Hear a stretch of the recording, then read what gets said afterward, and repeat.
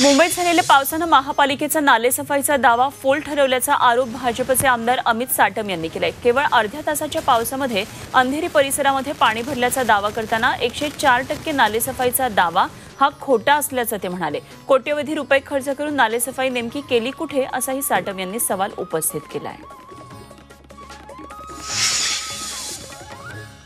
राज्यातल्या खड्ड्यांबाबत मुख्यमंत्र्यांनी आज तातडीची बैठक बोलावली आहे. राज्यातल्या खड्ड्यांबाबत राज्य मंत्रिमंडळाच्या बैठकीमध्ये गंभीर चिंता व्यक्त करण्यात आली आहे. संध्याकाळी सहा वाजता मुख्यमंत्र्यांनी तातडीची बैठक बोलावली आहे. राज्यातले राष्ट्रीय आणि राज्य महामार्गांवर पडलेल्या खड्ड्यांवर या बैठकीमध्ये चर्चा होणार आहे.